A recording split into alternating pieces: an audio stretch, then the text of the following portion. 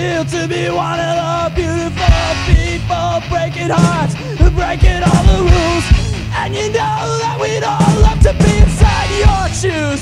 I'm just a germ that